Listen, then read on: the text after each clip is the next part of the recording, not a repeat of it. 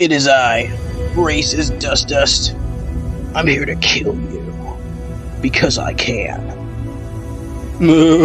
That's funny. I don't remember asking you. You're gonna die.